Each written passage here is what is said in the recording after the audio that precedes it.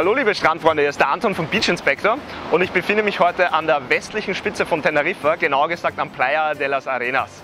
Ja, diese kleine steinige Bucht lebt von ihrer imposanten Umgebung. Da türmen sich zu meiner Rechten äh, sehr, sehr mächtige Klippen auf, die der, dem Strand eine besondere Atmosphäre verleihen. Vom Baden können wir hier dezidiert abraten, da die Strömung sehr, sehr stark ist und die Wellen sehr, sehr hoch. Wer sich dennoch erfrischen will, kann dies in den natürlichen Pools tun, die sich hier zwischen den Felsen formieren. Außerdem können wir euch noch sehr, sehr wärmstens ans Herz legen, das Restaurant am östlichen Ende des Strandes aufzusuchen. Dort könnt ihr auf einer großflächigen Terrasse etwas erhoben die wunderschöne Aussicht auf die Klippen genießen.